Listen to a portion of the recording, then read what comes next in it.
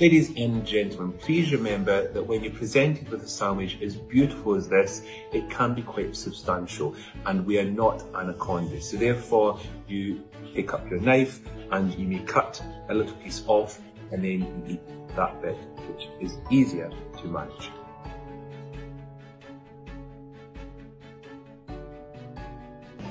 Ladies and gentlemen, please remember you're not Connecticut, So you pick the napkin up, fold it in half. Gentlemen may have the crease towards them, but ladies always have the crease away because you can then pick up a corner, dab, place it back down in a lipstick with any crumbs and then conceal. Ladies and gentlemen, when eating a burger, we use a knife and fork we never use our hands, unless of course you're Fred Flintstone.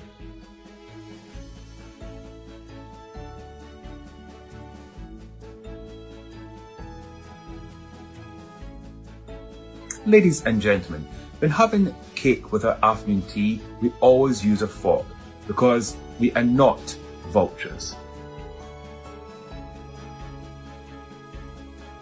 Ladies and gentlemen, when having your tea, remember we do not slap, we sip, because you're not a drain being plumbed.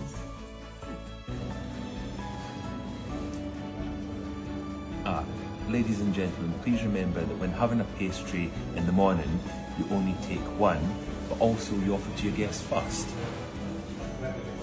Ladies and gentlemen, please remember that when having snacks with your drinks, we never double dip. We are not checking the car oil are we? One dip is ample sufficient. Voila. Ladies and gentlemen, when enjoying our afternoon tea sandwiches, we can eat these with our hands. They are called finger sandwiches for a reason. Ladies and gentlemen, this is how you drink out of a bottle. We are no longer bottle fed, we use a glass.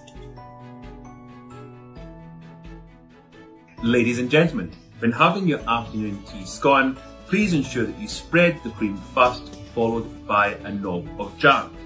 And then of course, we place this on top. Unless we are down under, then it's the other way around. The most popular request is what is the right way, the correct way to eat and enjoy your soup.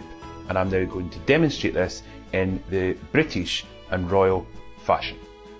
For today's demonstration, you will require some soup and a soup spoon. And then all you're going to do is put the spoon in the soup, push away from you, and bring up to your mouth. When we're having a little rest in between the mouthfuls of soup, you may rest your spoon at 4 o'clock as you see here, just on the side.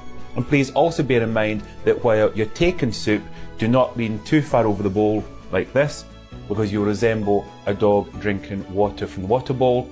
And also remember, do not make chewing sounds or loud slurping noises while you're enjoying the soup, or you may sound like cows in a field.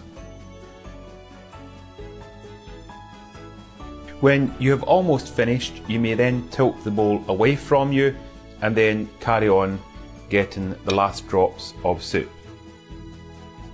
Ladies and gentlemen, when taking tea, we do not stick our pinkies out. There is no need for this public erection. Pinkies in.